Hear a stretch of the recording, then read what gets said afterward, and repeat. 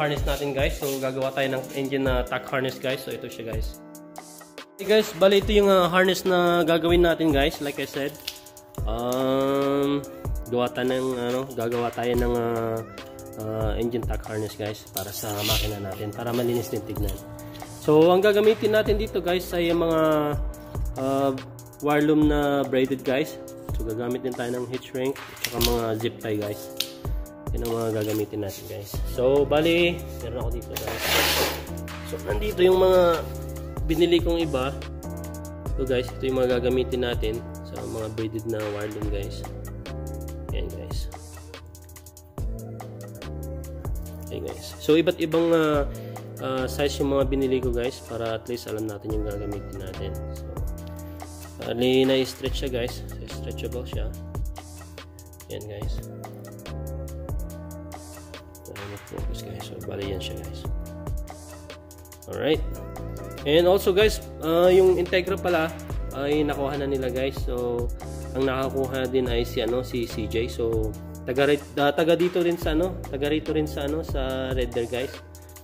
At uh, yan nga guys, uh, wala na sa atin yung Integra guys. So um, let's move on guys para sa ano, para sa EK natin. So yan guys, uh, at uh, umpisahan na natin na gawin itong uh, harness natin guys para matapos na rin natin.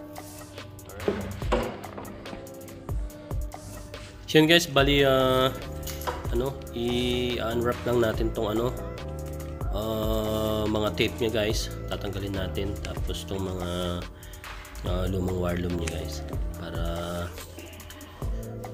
uh, maayos natin guys. So bali yung mga uh, tingin natin kailangan ng mga sensor guys. Yun nga uh, tatanggalin na natin guys.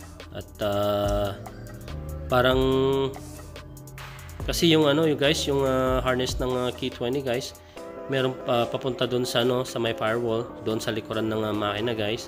Then merong uh, uh, papunta doon sa may ano guys sa may mga ignition coil guys. Tapos sa mga VTEC side doon sa may VTEC uh, solenoid guys.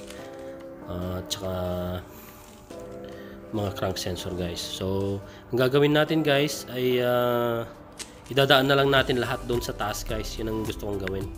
So, sa taas na lang guys instead na meron doon sa uh, instead na dumaan doon sa likuran guys. Doon sa may tranit tapos papuntang likod guys. So, doon na lang sa taas, pababa, papunta sa firewall. So, yun ang gagawin natin guys. So, yan lang guys. I-undo lang natin uh, itong mga tape. Medyo boring to guys. Kaya di bali papas forward natin to guys para mabilis. Alright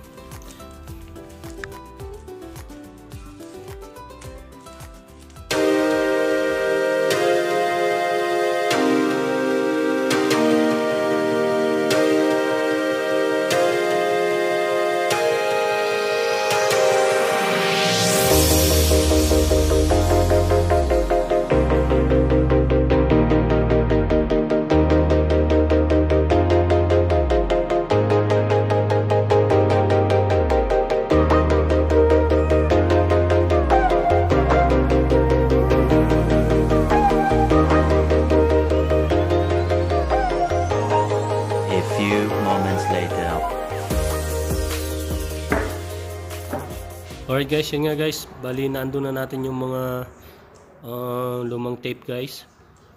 So, pati mga wire looms na ano, mga luma guys. So, bali, titignan natin yung mga mahahaba na wirings ngayon.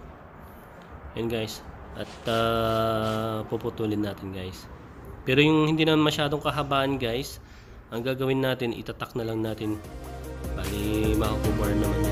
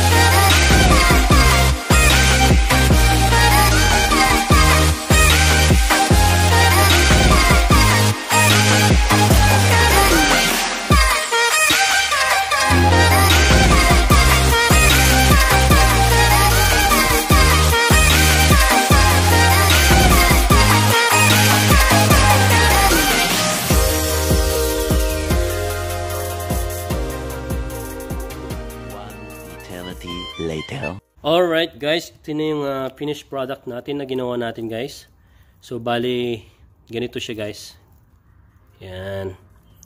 So linagyan natin ng uh, uh, wire loom na braided guys. Tapos uh, linagyan din natin ng heat shrink guys. Tapos zinip tie ko sa dulo guys. Yan. Yan. So yan lang guys, yung ginawa natin. Tapos gumamit ako ng uh, wrapping tape na high heat. Yan guys. Yan guys.